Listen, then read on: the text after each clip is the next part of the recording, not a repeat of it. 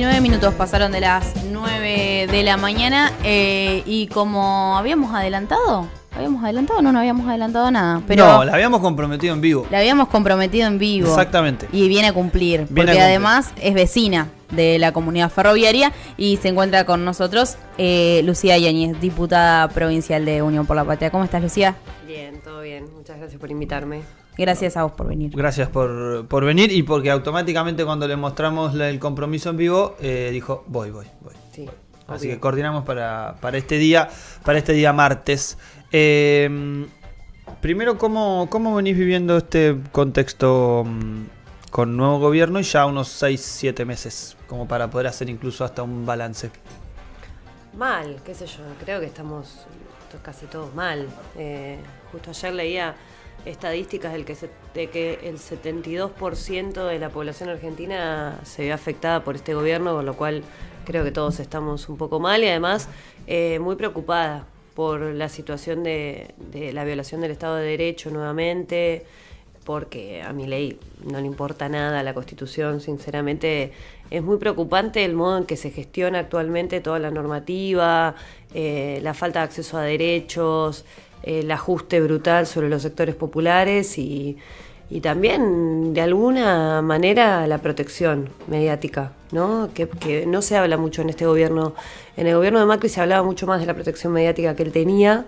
Ayer en los Martín Fierro creo que, no sé si lo vieron, pero se vio bastante claro que hubo solamente tres, eh, tres periodistas que, que, denunciaron la persecución que Milei y el gobierno de Milei hace sobre ellos y bueno Digo, después había mucho silencio, se notaba que había miedo, se nota que hay miedo desde mm. todos los sectores por, por las represalias que tiene el gobierno contra cada uno de los que opinamos distinto a ellos. Sí, sí, que incluso los acuerdos que se puedan tener no son garantía de que después el gobierno no salga a perseguirlos. Sí, qué sé yo, me parece que este es un gobierno que además de, de tener una vocación muy, muy liberal, eh, ni siquiera liberal, muy, muy de la derecha de la persecución, porque incluso el liberalismo más eh, histórico es la base de las constituciones, eh, de, nuestras constituciones occidentales, es todo liberalismo, no hay una violación sistemática a los derechos civiles, políticos, sociales, acá es como, bueno, se tira todo por la borda y mm. pareciera que estamos empezando desde cero, lo cual no es real en la Argentina. Yo lo vengo diciendo, me parece que si hay una, algo que tiene vocación el gobierno de Milei es de hacernos olvidar nuestra historia. Y bueno, puede ser que hemos cometido errores los gobiernos nacionales y populares en, poder estructurar, en fortalecer, digo, hemos trabajado mucho sobre la memoria, la historia, pero no sé si, si logramos los objetivos. Eh, cuando vemos la actualidad, la realidad, o muchas veces la falta de conocimiento básica sobre lo que ha pasado en la Argentina desde muchos sectores, el enojo, que para mí es comprensible también, ¿eh? ojo, es muy comprensible el enojo, pero, pero no, no puede generar eso que se tire todo por la borda como está pasando ahora. Sí me sigue sorprendiendo la cantidad de gente que rápidamente cruza de vereda, digamos, se posiciona en un lugar, a diferencia de muchos otros momentos de la historia donde se ha mantenido, qué sé yo, más tibia si se quiere, o, con menos determinación por la agresividad con la que este gobierno se maneja respecto de todos los sectores, digo, de la cultura, los políticos, los periodísticos, eh, todos somos ratas, todos somos personas eh, no deseadas y pareciera que no, no se encuentra o que no es sostenible esto en el tiempo. Algo que, nos preocupa, que hoy lo hablábamos en el marco de, las noticias, vos recién lo, desarrollabas cuando hablabas de, esta situación de, la vulneración del Estado de Derecho y demás, eh, pero que nos preocupa en clave de posicionar a los, a los opositores y tildarlos directamente de terroristas con la, con la gravedad penal que eso tiene y sobre todo con la situación incierta todavía hoy de los eh, que continúan los, los y las 16 eh, detenidos y detenidas que todavía se encuentran. hoy en la Plaza de Mayo a las 4 y media de la tarde va a haber una, concentración eh, exigiendo la, libertad de, los y las detenidas. ¿Cómo analizás este tipo de vulneración? Porque ya estamos hablando del derecho básico a la libertad eh, y sobre todo ejerciendo un derecho constitucional que es la protesta. Creo que se pudo construir en base también a las cosas que fueron pasando ese día un relato, ¿no? Y bueno, este, esto es de lo que hablo cuando digo que que existe una protección mediática. Hay un relato construido de, de la violencia de, las personas detenidas, las cuales, eh, digamos, no fue tal y se pudo ver en un montón de medios cómo detenían a un vendedor ambulante, a una persona en situación de calle con discapacidad. Digo, todos sabemos lo que pasa cuando a las fuerzas policiales le das eh, poder, libertad y falta de orden, ¿no? Esto en la Argentina ha traído consecuencias tremendas, con lo cual... Eh, te vuelvo a decir, yo siento que es muy preocupante la situación y que no estamos eh, preocupados todos. No sé a ustedes les pasa lo mismo, ¿no? Yo, la mayoría de mis amigos no, no hacen política, digamos, no, no todos militan y tengo muchos amigos que militan en otros partidos, en el radicalismo, en la izquierda, digamos, y que venimos de diferentes facciones y muchos otros que no militan y que, digamos, sí, obviamente tienen sus propias opiniones. Pero lo que veo es mucho desinterés eh, mucho desinterés en la actualidad, mucha... Eh, Un estado de letargo. Sí, sí, si se quiere de...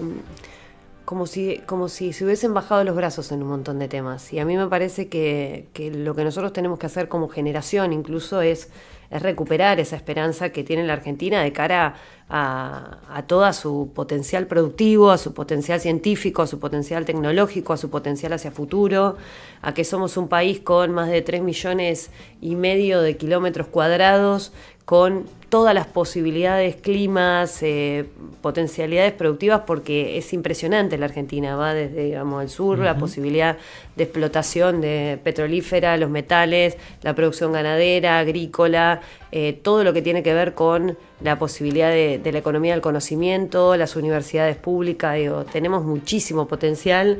Estos cuatro años van a ser muy difíciles, o tres años y medio que queden, van a ser muy difíciles. Obviamente que nosotros apostamos como cualquier eh, fuerza política democrática y republicana y, que pretende que siempre se cumpla con la Constitución, que es el pacto base, que mi ley llegue y cumple sus cuatro años, pero claramente tiene que revisar la política social porque la situación es insostenible. Mm. ¿Crees que hay una, recién hablabas un poco de esto de las eh, indignaciones o, hasta... Mm, eh, o hasta lecturas que decías, bueno, parece que se han bajado los brazos, que pasa mucho cuando eh, salimos nosotros los militantes solamente, eh, sobre todo hablamos de este microclima en el que vivimos, ¿no? De que nosotros creemos que nuestro microclima expresa lo que nuestra sociedad muchas veces expresa y nos pasa en esto, ¿no? O sea, bueno, amigos, conocidos y demás, que saliendo de ese microclima vemos que hay debates o tópicos que están por fuera de la gravedad con la que vemos esta situación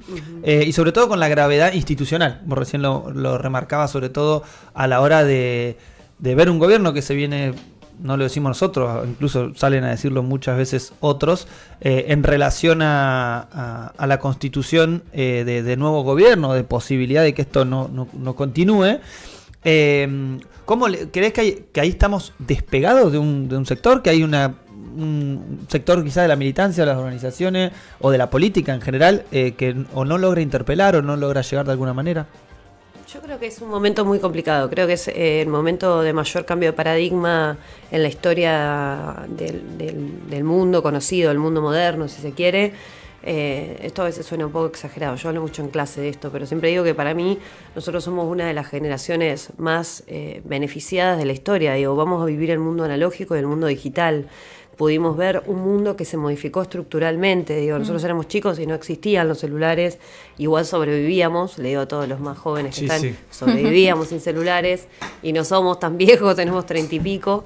Eh, pero bueno, digo, hemos vivido un cambio de paradigma general. Yo creo que estamos ante una sociedad que nos está costando interpretar que nos está costando, pero nos está costando a nosotros y a todos los sectores. Digo, yo no creo con certeza que eh, la gente que le hace que la comunicación a mi ley tenga plena certeza de cuáles realmente los lineamientos, los algoritmos, digamos, va funcionándole cosas que le permiten una llegada, toma puntos y experiencias de otros países. Mi ley se parece mucho a otros representantes de otros países. Yo veía contaba la semana pasada, estuve enferma, me agarré esa gripe que, me dejó todo el mundo destructiva así, la peste bubónica le digo yo.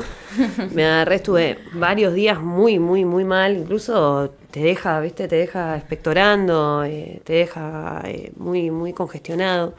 Em, y miré el, un documental sobre el presidente de Ecuador en el año 96, el que, el que dolarizó la economía y estuvo seis meses. Sí. Abdala es. Eh, sí, me parece que sí. Abdala, Ya lo vamos a checar, pero sí. Bueno, de todo ese documental que me vi, que es larguísimo, que lo vi medio como vemos ahora en dos, viste que apretás el celular y va más Sí, rápido porque sí. a veces se pone súper lento. Bueno, realmente se parece mucho, pero muchísimo se parece a Milei, eh, toda la historia. La diferencia es que él era un líder muy loco desde el principio también, pero que representaba eh, más a algunos sectores populares. O sea, Claro. tenía ideas, si se quiere, Venía más del sector nacional y popular. No, pero decía como cosas muy demagógico. Yamil Mawad. Ah, ¿sí? ¿Maguad? Yamil Mawad. Bueno, puede ser, no me acordaba. Mm, bueno, puede ser. Eh, la cosa es que si ven eh, la referencia del el expresidente ecuatoriano, el presidente de Ucrania, digamos, ves cómo Milei en realidad es una representación que también tiene muchas, eh, muchas copias de otros sectores y que también se ha, se ha visto de alguna manera eh, provisto de otras experiencias que han sido exitosas en momentos claves o críticos, como el que está viviendo la Argentina en este momento. Tiene su cuota de argentinidad, de su cosa, eh, no sé cómo llamarlo, pero Sí, gran ¿lo parte. sentís? ¿Sabés en qué lo siento? En que mm, la utilización de la ironía, la cuestión eh, del humor, esta cuestión de cultura al aguante, veo muchas cosas que sí son más propias de dotarle a esos fenómenos que han surgido también en distintos rincones del mundo de eh, un poquito de esa dosis. ¿Sabes que el ecuatoriano era igual en Idéntico. eso? Sí, muy igual. Eso es lo más, como muy agresivo, eh, muy irónico, todo el tiempo haciendo chistes y riéndose de la realidad. Claro. eh, diciendo cualquier barbaridad. Lo único que eh, el momento en que más derrapa y por eso dura seis meses es porque él había prometido eh, que iba a mejorar las condiciones de los sectores populares. Yo creo que lo peor de este de esta nueva instancia es que de alguna manera mi ley no está est- estafando necesariamente a algunos de sus electores. Si bien eh, algo de lo que se planteó no es lo que realmente está ocurriendo y esta expectativa que tiene la gente de que nos planteó Macri también y que ya la vivimos de todo el segundo semestre, como esperamos el segundo semestre yo, bueno, el segundo semestre exitosos nunca llegó. Y yo creo que también, por lo menos las perspectivas económicas que se ven hacia futuro no pareciera que son las que Milei le promete a, a su gente, esto no es tampoco el menemismo, Claro. no es un, un lugar donde, eh, si se quiere, en una primera instancia todos van a tener acceso a algo, ¿no? En esta igualación de la moneda o, o la convertibilidad, sino que pareciera que vamos hacia lugares mucho más oscuros y donde no hay ningún criterio en este gobierno de entender la política pública o de ejercicio de la política pública, porque incluso las personas que trabajan hace años en los organismos te dicen que nunca vieron este nivel de improvisación en los funcionarios que eh, realmente son funcionarios que no funcionan, pero que además son personas que detestan el Estado. Digo, tener un presidente que te dice que viene a eliminar el Estado desde adentro, habla un poco de lo que estamos viviendo y que realmente es un momento que tiene una implicancia para el futuro de la Argentina que creo que no se toma magnitudes de todos los sectores. Sí.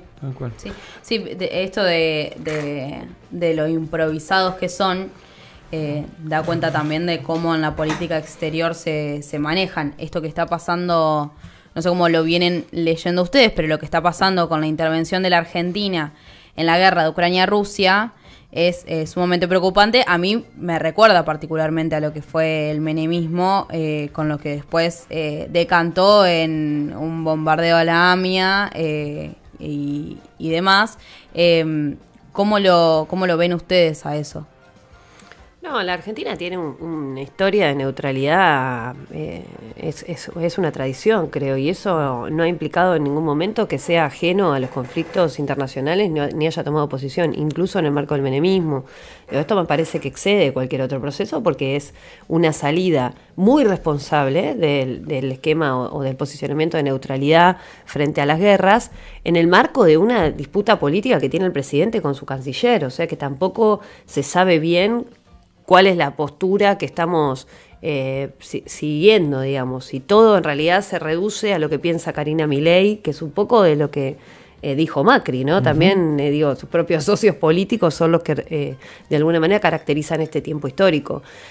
a mí me parece que realmente, tanto en el conflicto Ucrania-Rusia como en la guerra que se está llevando adelante en Gaza, entre Israel y Palestina, las posiciones del presidente tienen una implicancia muy compleja porque además son muy mm, superficiales, si se quiere, al momento de la opinión política que se toma respecto de, de esos conflictos. En ningún momento hay una profundización ni mínima y pareciera que se hace desde un lugar común o desde absolutamente sentido común sin tomar en cuenta en ningún momento las consideraciones reales que tiene una implicancia de, cambio de postura.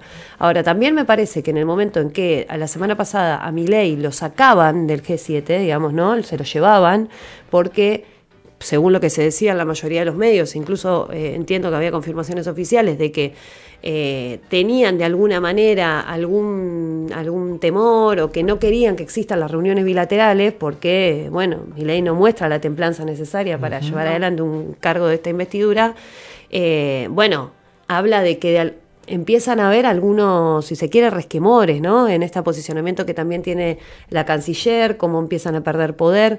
Digo, es un momento de mucha crisis institucional, más allá de que no se pueda ver, porque la crisis política y económica es enorme. El gobierno de Miley tiene enormes crisis institucionales permanentes. Más de 40 funcionarios en seis meses se fueron. No tiene ninguna dinámica de trabajo en la mayor parte de los lugares. Ha denunciado penalmente a sus propios funcionarios, los que él llevó. Digamos, tenemos que Petovelo denunció penalmente a, De la Torre. O sea, la persona que puso para dar intervención en el marco del, lugar de mayor eh, o, el lugar más importante, si se quiere, en cualquier gobierno, en un momento donde hay casi 60% eh, de pobres. Bueno, no sé, a mí me parece. Y la cantidad de irregularidades que, pues justo nombraste el caso de, Petovelo, que el cual desencadena no solamente el ejercicio de la crueldad, nosotros lo, profundizamos bastante acá en relación a lo que fue la cobertura de, la situación de comedores, pero también eh, con las situaciones irregulares alrededor de las declaraciones, ¿no? Este, el muchacho este que denuncia que lo suben a un piso a un piso 15 y lo hacen firmar una declaración en la que en la que eh, libra, libra de culpa a, Petovelo con una persona armada al lado, que es la misma que después aparece en Comodoro Pi, con, con Leila Yanis en, en, la, en, esta, en esta audiencia o preaudiencia que tuvo con, con Juan Grabois cuando hace la denuncia. Digo, estas situaciones que hacen a, una vulneración eh, muy concreta en nuestro Estado de Derecho y que eh, también queríamos hablar con vos en relación a una decisión también del gobierno en la que has, eh, en, tus redes sociales has salido a, denunciar y a plantear la, gravedad que tiene y sobre todo la importancia que tienen los centros de acceso a la justicia, eh, en los que has eh, en los que has trabajado durante mucho tiempo, por ende sabes muy bien cómo, cómo funcionan eh, y sobre todo para que expreses a, la, a la oyentada la importancia que tienen estos CAJ y por qué el cierre que propone el Ministerio de Justicia también vulnera justamente esto, el acceso a la justicia de nuestra población. Bueno, primero eh, yo creo que mucha gente no sabe de qué se trata cuando hablamos del acceso a la justicia. Nosotros eh, venimos diciendo y hace muchos años se sabe que las sociedades están complejas y creo que es, eh, te digo, lo que mayormente tiene indignada la sociedad que existen un montón de derechos reconocidos en las normas, a las leyes, cosas que hemos logrado y después cuando hay que efectivizar ese derecho resulta difícil. Digamos, tenés que ir a hacer un trámite y te cuesta y te lleva un montón de tiempo y perdés un día de laburo, dos días de laburo y no lo podés hacer. O, eh, no sé, no, no conoces cuál es tu derecho y entonces recibís atropellos de diferentes instituciones, o bueno, en el, caso últimamente de lo que más vimos es la policía, ¿no? O sea, todo lo que pasó básicamente son violaciones sistemáticas a los derechos que hemos garantizado históricamente en nuestra Constitución, pero también en leyes posteriores.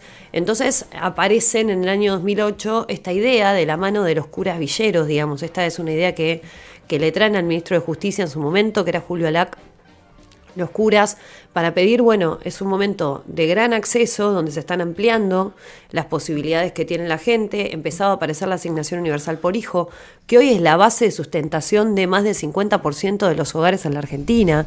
Digo, esto tenemos que decirlo, si no existiera la asignación universal por hijo, que además es una idea original de Lilita Carrió, porque a mí, digo, siempre, siempre que se, que se nos posiciona desde un lugar, digo, che, hay que ver la amplitud Sí. en la cual nacieron las políticas públicas en nuestro país. Entre ellos, esta era una posición que tenía el ARI, digamos, que no, no tenía nada que ver políticamente con el peronismo, pero que sin embargo hacía un planteo que era muy válido, que es tenemos que generar un acceso individual por cada pibe a los fines de sustentar la situación en la que estamos y permitió en la Argentina que yo creo que quedaban 250 mil eh, planes sociales cuando Cristina en el 2015 termina su gobierno eh, y que además eh, le permitió a muchos pibes volver a comer a su casa, cosa que es base de poder pensar cualquier sociedad, ¿no? Que los pibes puedan salir de los comedores y volver a su casa. Hoy estamos retrocediendo millones de pasos en eso. Bueno, en el 2008 aparece esta idea de poder tener equipos interdisciplinarios en los territorios que pudieran eh, cooperar con la población en eh, garantizar los accesos a estos derechos que implican una serie de trámites muy grandes. Y esos espacios fueron creciendo, están en un montón de lugares. Nosotros hay más de 100 CAJ en todo el país. Hoy van a cerrar eh, 81 para poder dejar 24, uno en cada provincia. Pensemos lo ridículo de dejar uno en cada provincia. O sea, qué, qué criterio de garantizar derechos puede existir con un CAJ en cada provincia, un, No, y- un equipo interdisciplinario en una provincia de 17 millones de personas. Claro, eso. Ah, eh, la semana pasada cerraron el de Constitución, que tenía miles de consultas diarias. Que seguro le quedaba chico incluso. Ni hablar, ni hablar. Eh, es, es delirante las posiciones que tiene este gobierno. Por eso digo, y a mí me parece que algo en lo que tenemos que hacer foco nosotros como espacio, es en decir, es ridículo los planteos que se tienen, pero también dar una alternativa de lo que nosotros queremos hacer. Y los centros de acción a la justicia tienen que volver a existir y tienen que masificarse, porque una de las cosas más importantes que tenemos en este momento, en esta transición de la era analógica a la digital, es la dificultad que tienen los adultos mayores, las personas con discapacidad, aquellos que no tienen acceso a Internet o a los diferentes eh, servicios digitales que existen, de, poder, de que exista un ser humano que los atienda, un equipo que sepa, que además aborde esa conflictiva social. Yo creo que la lo más importante de los centros de acción a la justicia es que están insertos en los barrios, que tienen trabajo articulado con todos los organismos de esos barrios, pero además que hacen un trabajo interdisciplinario por el cual un conflicto realmente es asistido desde todos los sectores. Y en esto hablo niños y niñas abusados sexualmente, cosa que ocurre diariamente. Cada vez hay más denuncias de abuso sexual infantil en la Argentina y cada vez hay menos políticas en contra del abuso sexual infantil en un gobierno que está en contra de la ESI, que es realmente lo que le dio herramientas a todos nuestros nenes y nenas para que le digan a quien sea que el cuerpo no se toca, que el cuerpo es de uno, para evitar los abusos sexuales infantiles y para denunciarlos. ¿Qué es lo que queremos en una población donde estamos quitando todos los derechos? Entonces, a mí me parece que lo de los centros de acción a la justicia es tremendo porque esa inserción, esa cantidad de resolución de conflictos, la alternativa de mediaciones que permitía bajar los niveles de judicialización en los sectores sociales, porque tiene mediación comunitaria el Centro de la Justicia, la asistencia a las víctimas, que de esto se queja todo el mundo, que a veces no tenés a dónde ir, que no sabes a con quién asistir, las mujeres en situación de violencia, los niños en situación de abuso sexual, la posibilidad de regularizar dominialmente los- las casas cosa que es un problemón y el que es liberal también lo tiene que ver porque quien no tiene regularizada su casa no paga impuestos. No paga, sí, sí. Entonces regularizar realmente la situación dominial es algo que le tiene que interesar a toda la población. La posibilidad de conseguir cupos en las escuelas para pibes que no están escolarizados, eso también lo hacen los CAJ. Entonces digo, bueno, ¿hacia dónde vamos? ¿Hacia dónde vamos? Entonces, estamos muy preocupados y desolados porque es una política pública que ni siquiera en el macrismo se tocó, todo lo contrario, en el macrismo se potenció, porque como ellos veían que estaban generando crisis social, pretendían que el laburo de los CAJ sostenga eso, Contenga y realmente eso. mucho tiempo lo hizo. Claro. Hay, una- hay un ataque también eh, que me parece que está focalizado, sobre todo en el caso de los CAS, que habla de esto del laburo interdisciplinario. Y que es esta eh, priorización de algunas actividades por sobre otras, ¿no? Esto de que decimos, eh, por ejemplo, los eh, algunos eh, algunas profesiones que valen más que otras, ¿no? Y, incluso eh, algunos de los escasos argumentos que se, que se volcaron para el cierre de los CAG es esto, ¿no? No, ahí había de todo y, se, y, eran grupos interdisciplinarios con escasa formación. Esa es la discusión que plantea, en este caso, el Ministerio de Justicia. Pero me parece que va más allá. Y el, y el, y el punto más allá es esto de decir, bueno, hay, hay disciplinas que no importan en el acceso a la justicia. O que hay disciplinas que no tienen. eh, que no tienen un rol central para ellos en este caso. eh, y, obviamente hablan principalmente de algunas de las. eh, de las profesiones sociales, si se quiere, de contención, de discusión eh, y de acompañamiento, sobre todo. Que me parece que es esto del abandono. Sí, a mí me parece que la formación histórica, esto ya es una discusión más profunda, pero bueno, ¿por qué no darla? Me parece que son tiempos de dar todas las discusiones. Yo creo que la que el individualismo que estamos viviendo nosotros tiene que ver con un montón de cosas, eh, con muchísimas. Una de ellas es la formación académica, claramente. La formación académica que nosotros tenemos en las universidades es absolutamente individualista, es totalmente sectorizada. No existe la posibilidad de resolver un conflicto social desde una postura única. Yo como abogada no puedo resolver todo un conflicto social si no hago una escucha activa, si no... Entonces, en este laburo que hago con una trabajadora social, con una psicóloga, en mi caso es el equipo histórico que nosotros teníamos, seguimos trabajando juntas, eh, realmente genera una diversificación en el proceso. O sea, es decir, la interdisciplina es necesaria para cualquier resolución de conflicto social. Sin interdisciplina y sin concepto de integralidad es imposible hacerlo. Nos pasa en la segmentación del Estado y yo creo que es una de las grandes causas por las cuales la gente está tan enojada. ¿Por qué? Porque hemos sectorizado de alguna manera la resolución de los conflictos. Si vos tenés un conflicto eh, de violencia de género, tenés que ir a este lugar. Si vos tenés un conflicto con tu hijo de abuso sexual, tenés que ir a este lugar. Si vos tenés un conflicto con el Internet, tenés que ir a otro lugar. Digamos, hay una diversificación muy grande. Ahora, si yo tengo una situación de violencia de género en una casa donde la mamá es víctima de violencia de género, violencia física principalmente, es imposible pensar que hay un niño que no está siendo víctima de violencia. O sea, ¿cómo podemos pensar que la salud mental de un niño que ve a un padre pegándole a la madre puede estar realmente mm. eh, integralmente resuelta? Entonces digo, hay un problema con cómo se ven los conflictos y cómo se resuelven los conflictos.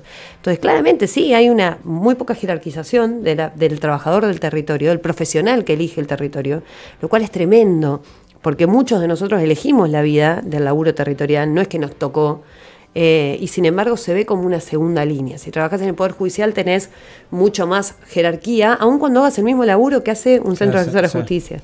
Bueno, eso hay que revisarlo, pero más allá de eso hay que pensar qué necesita hoy la población para poder seguir adelante en un contexto como este. La gente necesita los CAJ. La gente necesita los CAJ y es tremendo que realmente no podamos generar una instancia de una demanda, y en eso estamos trabajando también, porque cada uno de los CAC tenía miles de consultantes, miles de consultantes. Incluso eh, resuelto en un territorio tenés mucha gente que todo el tiempo circula, viene a hacer lo de la tarjeta SUBE, viene a pedir una resolución para que el pibe entre a la escuela, viene a eh, consultar para regularizar su, su casa, viene, toda la gente viene por ahí con un conflicto y después te das cuenta y vas desandando que hay muchísimas otras cosas. Ahora, sí en los centros de acceso a la justicia, ¿quiénes son los que van a trabajar en la garantía de los derechos en los territorios? Esa es la pregunta, ¿cómo lo vamos a hacer?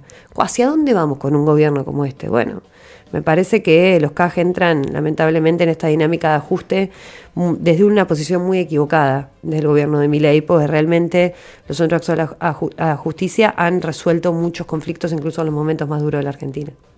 Tal cual. Lu, te agradecemos muchísimo estos minutos, la visita aquí al estudio de Emilia Ukama Itakuri, como, como siempre, y bueno, eh, obviamente los micrófonos están siempre a disposición para cualquier comunicación. Y aprovechamos para, porque los martes, nuestros martes son de queja. Ah, em, así que si vos querés, podés eh, esgrimir tu queja. Eh, puede ser personal, puede ser general, puede ser de nuestro microclima, puede ser de lo que vos quieras.